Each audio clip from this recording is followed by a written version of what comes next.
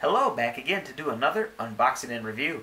Today we're going to go into a category that's a little off the um, normal for this channel, but I thought it was interesting enough to take a look. So this category of item I would put in um, personal hygiene and I guess by extension healthcare. And so this item here is designed to safely remove, um, clean and remove earwax from your ear. Now it comes from a company called Q-Twist and uh, you might be thinking, well, we already have implements to clean our ears, and they're very cheap and affordable, and those would be these. All right, so we've all seen these. Uh, cotton swab, or more, um, I guess, popularly known by a particular brand name, and that would be Q-tips. So, yes, and I will admit, I have for decades been cleaning my ears with these, okay? I that's what when I grew up that's what I was shown how to clean your ears use one of these. And I really never thought about uh, is that really the right uh, tool for that? I just assumed that these were what they're made for. However on a trip to a doctor um, come we were doing the checkup and then talk about you know looking in the ears and Anyway, and then um, so she asked me, "How do you clean your ears?" Um, and I said, "Well, like kind of with a Q-tip, like duh." And she said, "Yeah, well, you're not supposed to be using those." I'm like, "What?" So um, I told her that's always what I've been using, and she gave me a real cool little assignment slash challenge. She said, "Go back to the store." And pick up any box of Q-tips or associated brands, maybe not Q-tips, but another cotton swab brand. Pick up any one of them. Look on the back of the box and see if anywhere on there it says, use this to clean your ears. And I thought, hmm, okay, challenge So, okay, here I have a, a big old box of Q-tips, right? And then on the back, um, yeah, I had to rip this open. But they kind of give you like little pictures of suggested uses. So you have Beauty. It looks like there she's um, putting on eyeshadow. This, um, they're cleaning like a baby's toes, like between his toes, I guess to dry it or something. Up here we have first aid. I don't know, apply swabs and stuff. Those, um, yeah, ointments and creams and stuff like that. And then here, this is, by the way, if you can't see, it's a keyboard. And so they're telling you you can use these to clean in between the keys. So like electronics and stuff. So, well, she's right. Not one of these suggested uses is to stick these things in your ear concern. Um, your eardrum is only about 2 to 3 centimeters in from the opening of your ear canal, and this, by the way, is quite a bit longer than 2 to 3 centimeters. So sticking too much of this Q-tip in can go too far, and you could rupture your eardrum, which is obviously bad. So, um, having heard the same thing this guy was talking about in the ad, and I heard that from my doctor, I thought, well, maybe there is some, and maybe this guy actually has a point.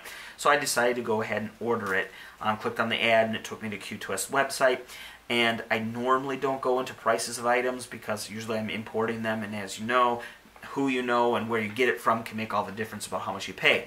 But since I ordered this from a more, I guess, quote, quote, mainstream source, i.e. YouTube video ad, I'll just go and tell you, um, I paid on the Q-Twist website $44 to have this shipped to me. Okay, so um, let's go ahead and take a look around the packaging. Okay, so um, first, this did not come in a retail package, which you're seeing here is exactly how it fell out of the mailer when I opened it up. Okay, now we have, we're agreed with Findback, um, and we'll get to that in a bit. I'm just going to go over in case you haven't already figured out how this thing kind of works. Again, we're going to get to it more later, but just so you know what you're looking at here. Here is the main handle, the and these little corkscrew tips adhere to the top and then you put it in your ear and you turn this in the direction the arrow is indicating so you turn it like that right and apparently what happens is the wax in your ear will get trapped in these little threads on the screw. And as you turn it the correct direction um, the earwax will be basically um, kind of uh, spiral staircased out of your ear by following on these little threads uh, uh, threads of the screw.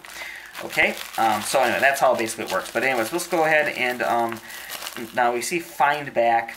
I'm not really sure um, what Fineback is, if this is actually the brand, because um, I'm looking at this whole thing, I don't see Q-Twist anywhere. I haven't opened it up, but usually you shouldn't have to open up an item to see the company's name on the item of interest. So we have a whole bunch of limited, uh, okay, legal stuff there, made in China, on the back, there, Fineback again, Fineback, I don't know exactly what Fineback is supposed to mean. Uh, find the earwax that was in your ear when it comes back out by using the screw device. I don't know, maybe that's whatever. You got a better idea? Let me know. Okay, so I'm trying to wonder now, and not seeing Q-Twist anywhere, maybe Findback is the brand. And that's what I thought until I saw this. Let me turn this here. There you go. See that? Q-L-L-I-P-I-N. Qllipin. So I looked up Qllipin, and by the way, that thing is trademarked. So, okay, so I looked up Qllipin, and the only thing I was able to find was essentially some cheap-looking juicers. Yes, stick a whole bunch of vegetables in this, like, or fruits into this tube, and it blends them up, and then you drink it like a smoothie, right? Okay, so I'm assuming now, because evidently the, these guys make something else other than just this, that this is the manufacturer, and this might be the particular um, tool or model number that we're looking at here, right?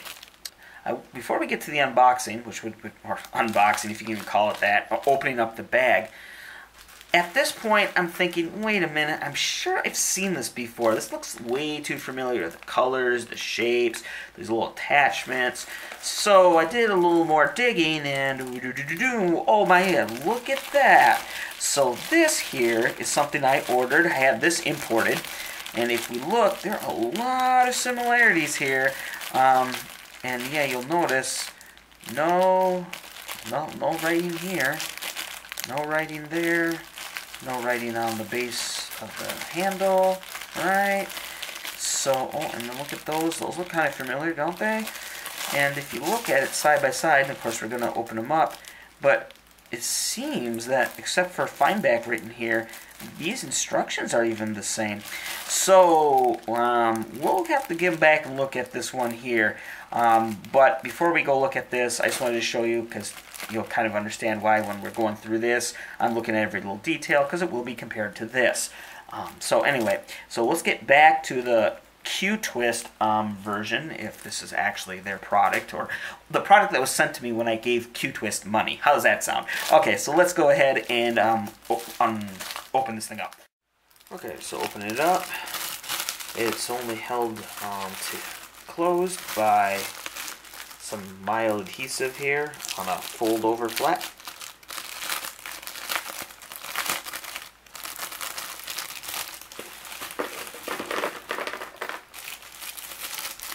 Again, there's supposed to be 16 of these little um, these. Okay, so we have, let's look at the instructions first. Okay, there they are. Um, it seems that there's this warnings. Eh, it should not be used without so it's all basically caution type deal. Please read all instructions thoroughly before using. Okay, so we get some diagrams. Yeah. Okay. And alright. So let's look at the here's the handle. This um it's all this is all plastic. It feels to be it's very light. Um, looking down the middle, well that explains that. It's all the way hollow down the shaft there. And we'll pull look at one of these tips. Alright, so here's one of those uh, screw tips. Um, the top so the very top here, for most of the screw, it's this uh, silicone, um, yeah, again, it's there's a lot of give. It does retain its shape if I squeeze it. You can see it springs right back, so that's good. And um, now the base here is made out of, so this, the disc, see, the disc and the little attachment feet, those are all made out of regular hard plastic. There's a little bit of that hard plastic that goes into the base of the screw, but that stops, I mean, just right above the circle. So all the stuff that's going to go in your ear is pretty much silicone, right? Okay. And the tip, um, if I just push it real lightly, yeah, it doesn't take much to deform it, as you can see there. So um, should you go a little too far, it looks like there's quite a bit of give, and it can roll back on itself. So yeah, you shouldn't stab yourself with it. Okay, now uh, let's go ahead and back to the handle here. Alright, so you're looking at the top of the handle here. Again, the arrows indicate how you should be turning it, in what direction. You can see there um, the attachment points pretty well. Um, there's no, um, what do you call it, rough. It looks like it's been all pretty much molded and cleaned up, which is good because any, you know, any extra plastics there could make the attachment not as tight. So I just got one of these tips here and I'm just going to go ahead and uh, put it, attach it on just See how that goes? Okay, well there you are. Yep, so it attaches well, and uh, I'm just lightly pulling them apart. Yeah, that's not enough, so it shouldn't accidentally come off. It looks like we're going to have to exert a little effort to separate them, which in this case is a good thing. So separate it. I see there's a little gap there. Maybe I'll put my fingernail in there. Thumbnail. And then on the other side. Okay, well, there, there we go. So yes, you do have to make a concerted effort to get it off, again, which is good. So, okay, um, I'm going to go ahead and read the instructions um, real quick, just to see if there's anything I need to know, and it'll be Alright, I read the directions real quick. Um, nothing really um, that we couldn't figure it out on our own, but it did say if you want to get the tips off, they had a picture where you're supposed to push in with your thumb on this this side here, and then use your finger to push in on this side here. And they show like you're supposed to be able to squeeze and push out, and this tip is supposed to um, separate from the handle. Now, that only, to, from what I can tell, at least with the one I got, it only um, seems to move it far enough away for you to get your fingernail in there and then um, remove it like I did before. I'm not sure, maybe yours might actually have it where you can just pop them off with just using one hand, but at least for mine it seems to be a two-hand affair. Okay, now um, the other thing. Um, one of the panels in there um, showed that um, there was like a, supposed to be like a hard case where you could store all these tips and they were all uh, lined up with this part facing up so that when you wanted a new tip you could just get the handle and stick it in lock it in place and then pull it out and then you'd be good to go. However I did not get um, that hard case storage speed loader type deal so I'm not sure. Maybe that's uh, the extra kit or whatever but anyway at least when you order it from Q-Twist you don't get seem to get that little storage case box only uh, this. okay. Alright, so I went ahead and tested it out. Um, I decided to hold up the Q-tip uh, next to it to give you a kind of a size comparison. Okay, anyway, so, um, alright, so first, when you use this, it does actually feel different than this, alright, the Q-tip. So, um, the first part that you're going to have to get used to is you have to really, you see the base of the, of the end of the handle where the handle connects to the screw part, you have to get this, um, I guess, um, disc part, you have to get this essentially jammed in your ear to where this is at the entrance of your ear canal.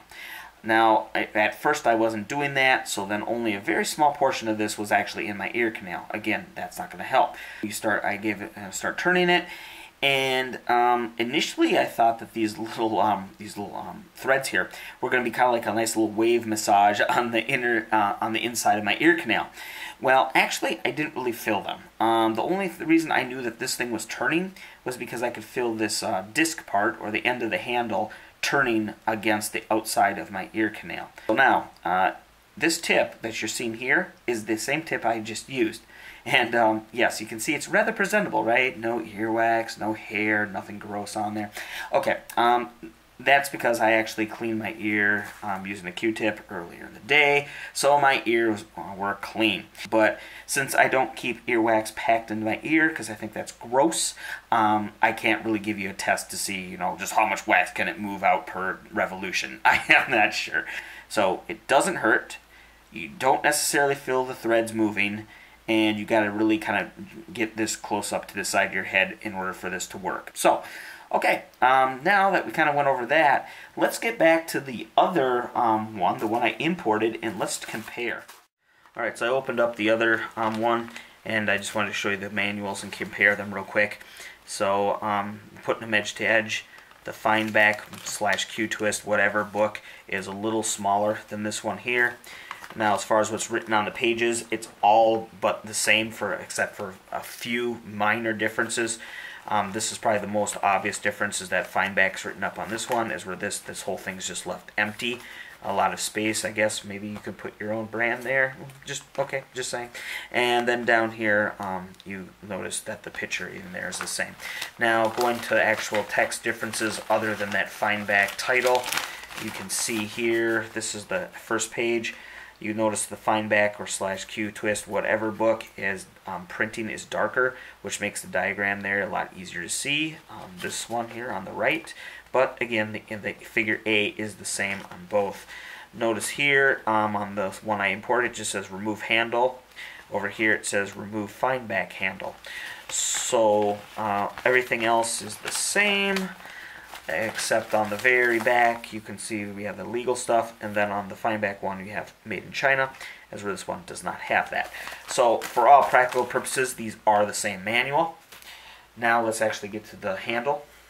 Here we have the handles side by side here. On the right we have the find back. On this one is the other one. So with the length they're almost almost the same. This one here on the left is a little bit longer but not by much. Also notice the oval where I guess you'd put your brand or whatever you want to write in that oval. If you notice on the fine back one, it that oval's back slightly more, and this one here is a little further towards the front. But again, no functional difference. Um, very, very, very minor cosmetic difference. Notice the arrows, the colors, everything else is same. The way the um, the design is same, the coloring.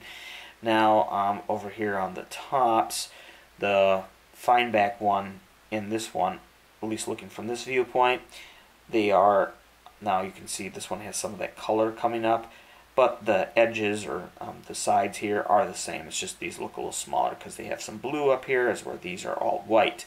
But if you do it like so, put them together, okay, you can see they match up flush. So, all right. And, um, this one here, of course, has that uh, Cula. This one has nothing written down there. But again, a lot of open space to maybe write your own, draw your own, whatever, print your own. Um, okay, and then inside we have the same hollow.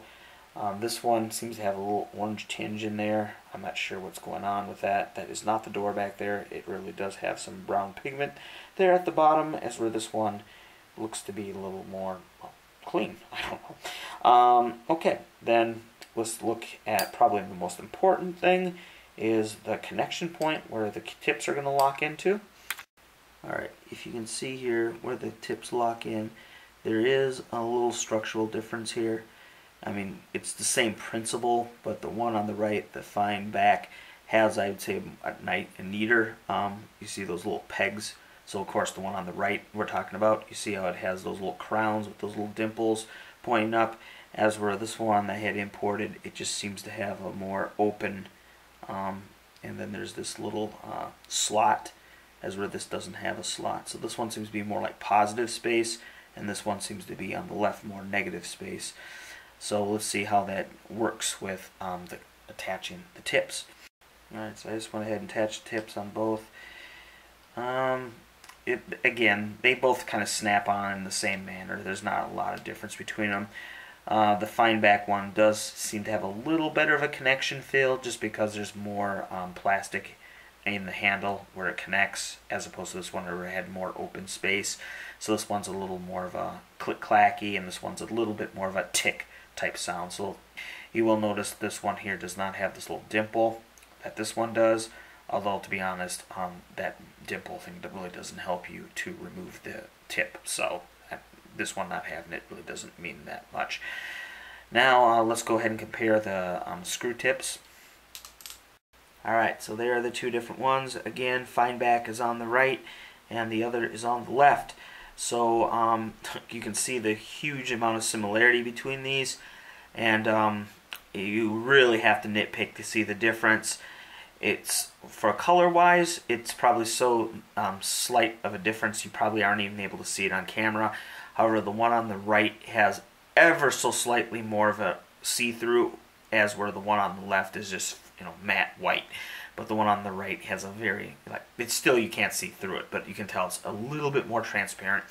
Now, um, on the connection portion at the bottom, the fine back, those little two, if you look at the middle part where it connects, you can see that those two slots are not quite as pronounced as the one on the left, but yeah, for any major structural difference here, they're the same. Alright, so now that we have the chance to study these up close, I think we can all be safe in the assertion that these are, in effect, the same darn thing. Okay, now you may be thinking, well, hey, this find back one, or whatever it's called, uh, made by Qllipin, maybe this one's the real deal and this is the knockoff, right? And I understand, especially coming from this part of the world, that would be some a good assumption. However, we have to understand the whole idea behind knockoffs. It's to essentially make something pass it off as something that's superior and you know make money or give someone the chance to pretend they have something that's uh, higher value than it really is so just think knockoff iphone knockoff louis vuitton bag you get the point but now let's look at what we're dealing with here this one is not made any better than this one um, in any little difference between them i think we can just attribute to batch um, they painted the circle a little higher in this batch than they did over here but it's the same thing right so that's why I don't think this here is the real and this is a knockoff. I'm under the impression with all the clues I've been given that these are white label items. And this one we just got a little later where someone got the chance to put their name on it.